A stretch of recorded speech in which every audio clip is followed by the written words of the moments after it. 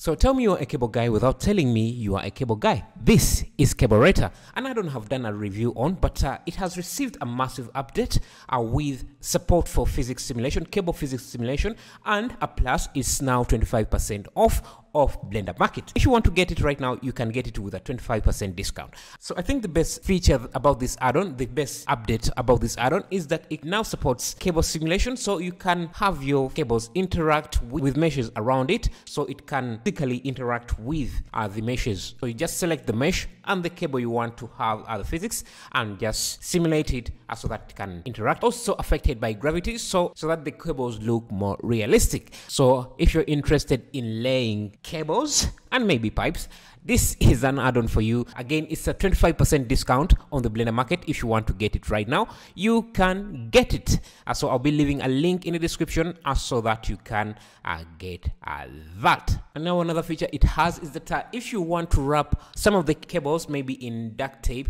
uh, you can easily do that with just with just two clicks. You just select where you want the wrapping tape to start from and where to end and then it will do that for you. So if you want to make anything realistic this is the add-on for you. It, brings the fun back in laying pipe. Thank you